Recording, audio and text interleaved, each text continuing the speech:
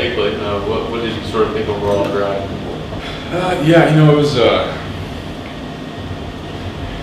grindy is the best way I can describe it. You know, I think that team is. Um, Pesky doesn't give them enough credit, but they, they uh, you know, they really make you work. They, they make you. Uh, they're not going to strike out.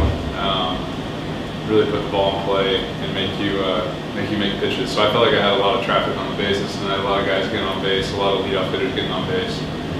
Um, which is frustrating, but you know, also to be able to get out of it with one run is okay. Um, made some pitches when I had to, and things were a little bit better. Um, there's a few things that got a little bit better from last start, which was good. But yeah, overall, I just had to had to grind through this one a little bit.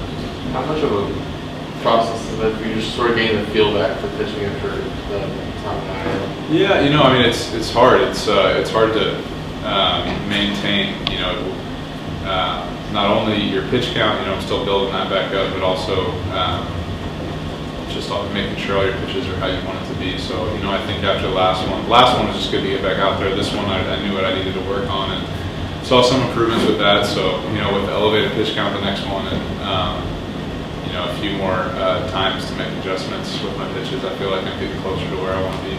You burned out around seven, I think seventy-four pitches after four, was it a pretty big goal to just go back out to the? Uh, yeah, I think that's kind of right where I was in San Fran, was right around that. So, um, you know, one extra inning is good, 80 something pitches is good. And, you know, next time should be, you know, pretty close to normal. I hope so.